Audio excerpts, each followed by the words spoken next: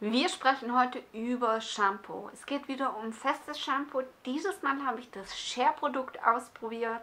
Gibt es exklusiv bei DM. Und wie mir das gefallen hat, das erzähle ich dir nach dem Intro.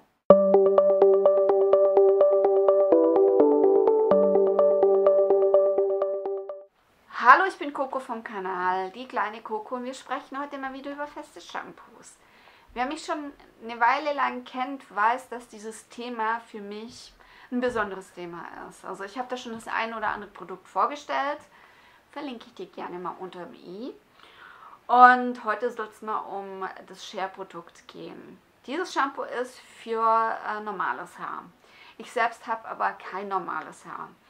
Ich habe vor zwei Jahren die Pille abgesetzt und mein Hormonhaushalt ist immer noch durcheinander. Das bedeutet auch die Haut spinnt rum.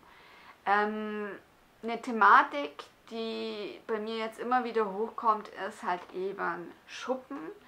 Das muss ich so ein bisschen in den Griff bekommen.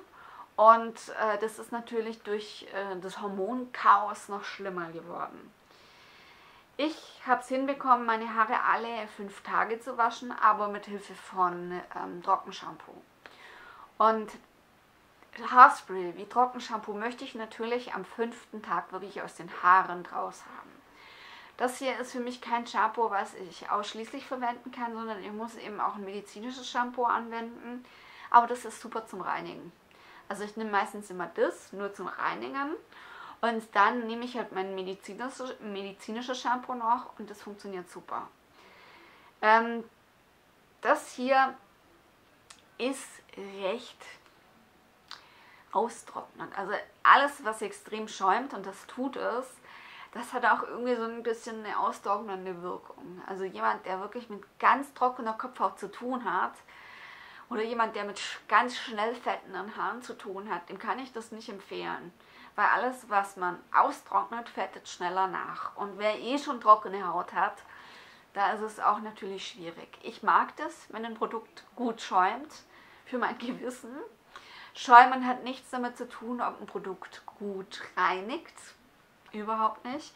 Aber ich mag es halt einfach nicht, wenn ein Produkt nicht schäumt. Ich mag es einfach nicht. Das ist einfach so ein Gewissensding. Ich habe auch keine Ahnung. Ich mag das auch allgemein nicht beim Händewaschen, beim Duschen. Das muss immer so ein bisschen Schaum entstehen. Ich, ich fühle mich da einfach besser. Dieses Produkt kommt in der typischen äh, Share-Verpackung daher. Also die Produkte sehen ja eigentlich alle immer gleich aus. Es gibt von Share inzwischen, gibt es auch bei Rewe. Also Seife ist wirklich bekannt. Feste Duschstücke, dann gibt es die festen Shampoos, es gibt Kleidungsstücke, es gibt äh, Haftnotizen, es gibt Notizbücher, es gibt Kugelschreiber, es gibt Wasser, es gibt Mehl, es gibt Pflanzendrinks es gibt Riegel und über die Riegel habe ich sie damals kennengelernt. In meinen veganen Boxen war das ein oder andere Produkt von Share drin. Ähm, ich habe das anfangs nicht gekauft, weil ähm, ich die Produkte nicht ganz so toll fand. Ich glaube, Schokolade gibt es auch noch. Aber hinter jedem Produkt von Share steckt eben eine gute Tat. Man hat hier so ein kleines Skinner-Teil und da kann man gucken, für was das Produkt eingesetzt wird. Und ähm, hier kriegt ein Mensch in Not ein Hygieneprodukt. Bei einem Wasser ist es natürlich Wasser oder Nahrungsmittel etc. Also ich finde das gar nicht mal übel. Diese ähm, festen Shampoos sind ausschließlich für DM produziert worden und ich werde immer bezüglich des Dufts auch gefragt. Das war jetzt Vanille Hafer und das habe ich mir speziell ausgesucht, weil ich eben Vanille genauso wie diesen Haferduft, ich mag das ganz gerne. Und ich kann äh, das empfehlen bei Menschen, die eben duftempfindlich sind, das Produkt einfach ausriechen zu lassen. Also die Packung aufzumachen, das irgendwo hinzulegen, vielleicht sogar in die frische, frische Wäsche zu äh, legen, damit der Duft an die Wäsche abgegeben wird oder in den Schrank, wo auch immer. Und das Produkt riecht jetzt so ein bisschen nach den Inhaltsstoffen, finde ich. Es hat so einen leichten Parfümduft noch, aber das ist vollends in Ordnung. In den Haaren riecht man es zum Beispiel gar nicht. Natürlich wäre so ein Produkt noch schöner, wenn es neutral wäre. Gebe ich inzwischen auch zu. Also ich habe viele Zuschauer, die da eben auch auf der Kopfhaut äh, reagieren, wenn es um Duftstoffe geht. Wäre natürlich noch besser. Ich finde dieses Vanillehafer gar nicht schlecht, aber sind wir mal ehrlich, die Haare riechen da nicht danach. Absolut nicht. Ähm, ich höre das immer noch, da es Frauen oder Männer sagen, äh, feste Shampoos funktionieren bei mir nicht. Das kann man so nicht sagen, weil jedes feste Shampoo anders formuliert ist. Jetzt bei diesen festen Shampoos aus der Drogerie gibt es jetzt nicht so große Unterschiede, finde ich. Aber wenn man jetzt irgendwie Online-Shops aufsucht, die sind alle ein bisschen anders.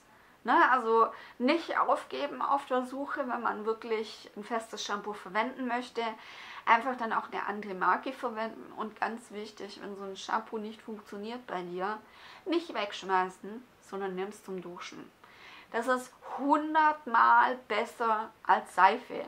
Weil Seife ist nicht gut für unsere Haut. Also dann wirklich hergehen und das Produkt als ähm, ja, festes Waschstück verwenden, mache ich inzwischen auch. So verwende ich eben die Produkte, die ich für euch teste, gehen dann halt auch irgendwann mal äh, drauf beim Duschen sozusagen. Und ähm, meine Haut mag das total. Also kann ich euch echt empfehlen. Das hier, wie schon erwähnt, schäumt recht stark.